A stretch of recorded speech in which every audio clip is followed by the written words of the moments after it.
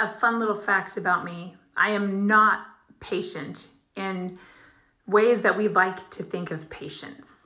In fact, my husband makes a, a joke out of it by naming those little flowers impatiens. He calls them my name.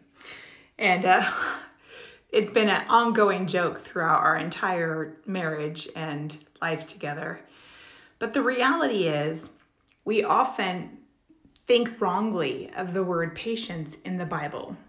And this follows on the heels of what I've been talking about, about waiting for the Lord and how we often get the definition of wait wrong. So too with patience. So in Romans 12 12, it says, Rejoice in hope, be patient in tribulation, be constant in prayer.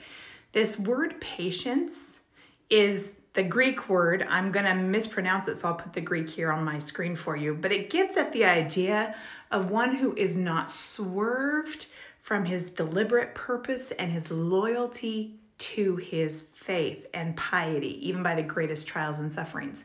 There's a related word, so we have patient and patience. So I give you the definition for patience, but the other one is very similar for patient, and it means to remain, so to abide, to not recede or flee, to persevere under misfortunes and trials. And again, holding fast to one's faith in Christ, to endure brave bear bravely and calmly. So when we think of patience in the Bible, it is more about holding steadfastly in our faith. We abide in faith. We cling to Christ. This definitely goes hand in hand with the updated wording of wait that we talked about in previous videos. Maybe you should go check those out if you missed them.